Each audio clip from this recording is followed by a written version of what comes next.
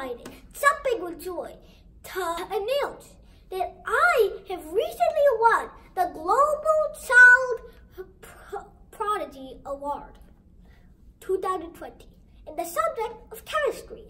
Speaking of chemistry, I remember two interviews that were based on chemistry. One from Medgar Evers College and the other from Voice of America. Both of these interviews were back when I was two, when it was 2014, so I was only two years old. Both of these questions, uh, I mean, both of these interviews questions, both of these interviews presented me with many, many chemistry problems, and I was able to solve them all, especially the periodic table ones. These spontaneous interviews uh, made me more eager to solve PhD level math, physics, and chemistry problems.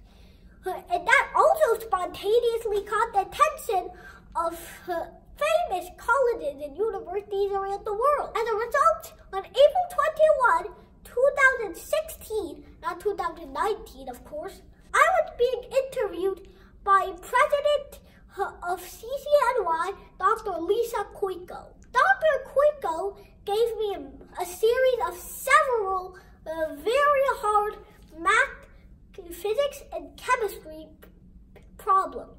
And I was able to solve them all correctly. As a result, she gave me the title Einstein of Our Time. Later that year, into, in the same year, I got recognition from President Barack Obama.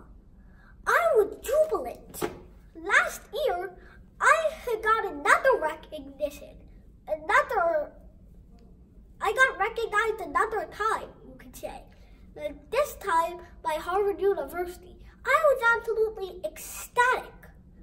In the same year, I was also being accepted into the Gifted and Talented program. And I was almost finished with my uh, new book that came out on March 2019, The Love. And foremost, I would like to give a big thanks to the International Selection Committee for selecting me for this exalted award.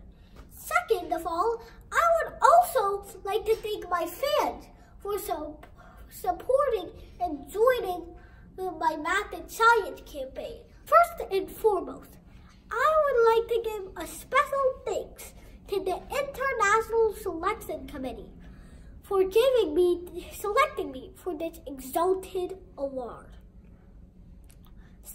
All, I would also like to thank my fans for supporting and joining uh, my math and science campaign.